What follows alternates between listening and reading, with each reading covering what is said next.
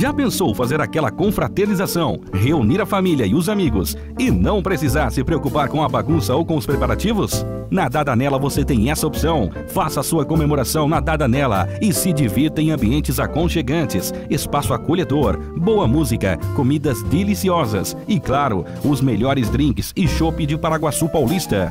Temos sugestões especiais para noivados, aniversários, confraternizações e eventos. Dadanela, Rua 12 de Março, 174, no centro de Paraguaçu Paulista. Aconteceu na tarde desta terça-feira, dia 20, na Câmara Municipal de Paraguaçu Paulista, uma audiência pública aberta a toda a população paraguaçuense. A audiência foi para discutir o projeto de lei 37/2017, de autoria da prefeita Almira Garmes, que dispõe sobre as diretrizes orçamentárias para 2017, criadas para estabelecer as metas e prioridades da administração municipal para o próximo ano.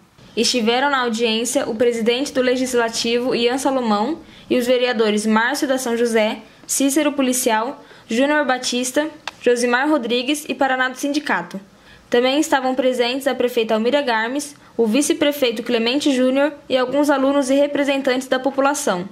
Todas as sugestões e perguntas feitas para os vereadores foram respondidas e comentadas, inclusive pela prefeita, que aproveitou a ocasião para esclarecer algumas questões sobre administração municipal e orçamento aos presentes. Uh, meu nome é Carlos, nós somos estudantes e a gente tem trabalhado no último semestre é, um documentário focando a cidade em questões ambientais é, e a gente queria é, saber quais são os planos de vocês com relação, se já tem algum plano, né, algum projeto com relação às questões ambientais em Paraguaçu e quais são os principais problemas que a gente vem enfrentando.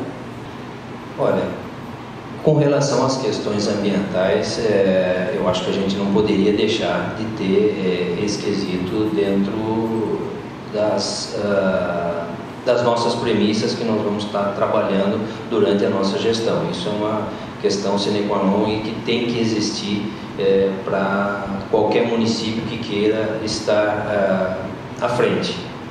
Então, nós temos assuntos das questões ambientais sendo tratadas sim.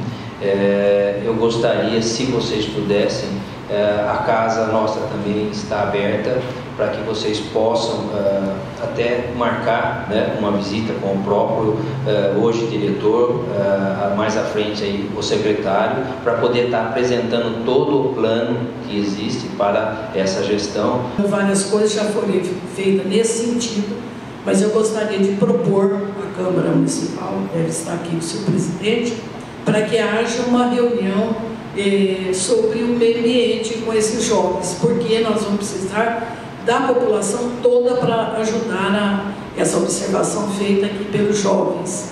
Hoje pela manhã nós fizemos já uma reunião, fizemos uma reunião segunda-feira passada, está aqui o vice-presidente da Associação Comercial, você é da diretoria, né, Ju? Nós fizemos uma reunião bastante demorada com a Associação Comercial, porque o lixo, o lixo que nós produzimos, o lixo que nós jogamos no chão, é alguma coisa de podemos dizer assim, escandalosa.